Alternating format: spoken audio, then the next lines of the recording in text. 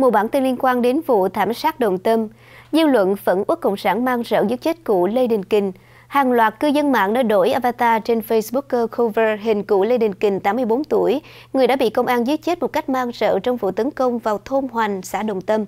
Cụ Lê Đình Kình có 55 tuổi đảng, từng làm trưởng công an, chủ tịch Ủy ban Nhân dân và bí thư đảng ủy xã Đồng Tâm và được dân chúng xã Đồng Tâm xem như là nhà lãnh đạo tinh thần của họ trong công cuộc đấu tranh giữ đất, chống lại âm mưu cưỡng chiếm của chính quyền. Báo chí trong nước đồng loạt đăng bài vu cáo cụ Kình và là người cầm đầu chủ mưu các hoạt động chống đối chính quyền, vi phạm pháp luật và rằng lúc chết tay còn cầm lựu đạn. Thế nhưng trong cuộc gọi video được phát trực tiếp trên Facebook, bà Lê Thị Nhung là con gái cụ Kình cho biết cụ bị bắn chết trên giường ở nhà nhưng chính quyền yêu cầu gia đình phải ký nhận xác chết ở cánh đồng. Nhiều hình ảnh và video clip lan truyền cũng cho thấy thi thể ông Kình khi đưa về nhà có vết mổ tử thi dài trên bụng, vết đạn trên đầu và ngay tim. Anh Trịnh Bá Phương, một dân oan ở Dương Nội tố cáo trên Facebook rằng chúng đã giả mang đánh đập cụ đến gãy rời chân trái, rồi sau đó chúng kết liễu cụ bằng hai viên đạn, một ở đầu và một ở tim. Nó bắn chết cụ rồi mà đến thi hài của cụ chúng cũng phanh thây.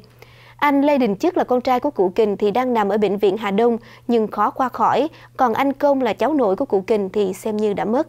Cái chết bi thảm của cụ Kình đã gây rúng động công luận. Nhà thơ Trần Mạnh Hảo viết trên Facebook rằng thảm kịch đẫm máu đồng tâm dưới chết cụ Lê Đình Kình và con trai cùng cháu nội của cụ là do chính sách tước đoạt quyền sở hữu ruộng đất của người dân của nhà nước Cộng sản. Còn nữ ca sĩ Đỗ Nguyễn Mai Khôi đăng hình cụ Kình với dòng tưởng niệm viết rằng cũng là râu tóc bạc phơ, nhưng đúng là anh hùng dân tộc, cụ đã hy sinh trong cuộc chiến chống khủng bố Việt Nam.